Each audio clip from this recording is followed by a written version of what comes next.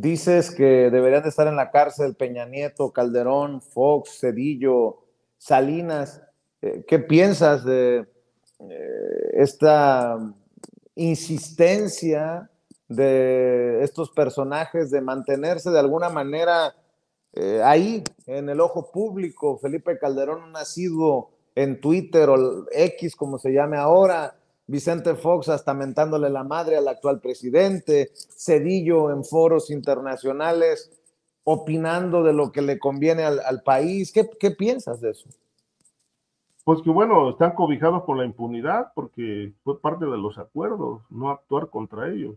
Es decir, nos vendieron la idea de que se hizo una consulta pública y que la gente decidió no, que no se actuara contra ellos. Pero bueno, esto fue esto fue una vacilada, ¿no?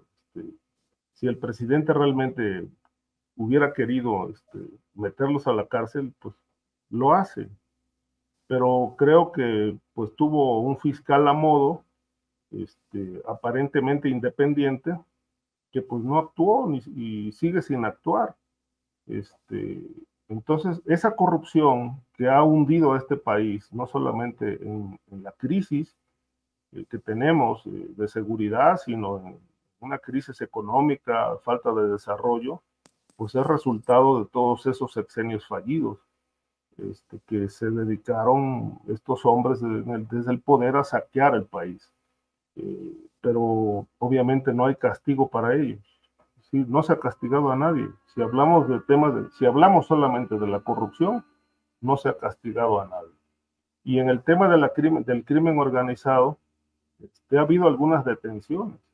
Este, no podemos decir que no, pero no han sido, digamos, eh, no han incidido de manera contundente en el freno de la violencia, porque la, la, política, si podemos llamarle eso, política, a los abrazos y no balazos, pues no han redituado nada a cinco años de distancia.